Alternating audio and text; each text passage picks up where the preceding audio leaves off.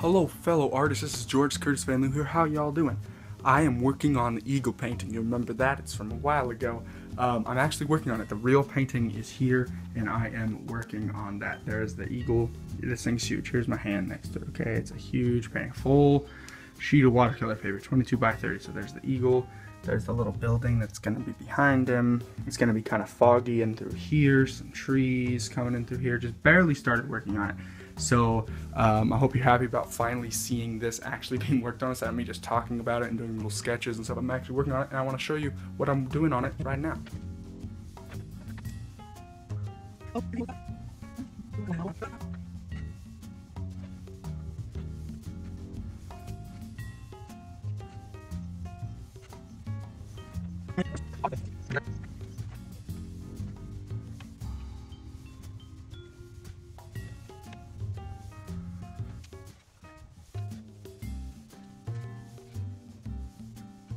Well, if that isn't the most interesting thing you've ever seen, right?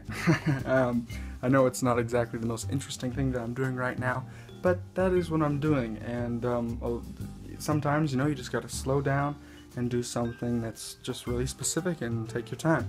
So I hope you guys enjoyed that. I am working on it. Here's one more glance at it here. There's the eagle.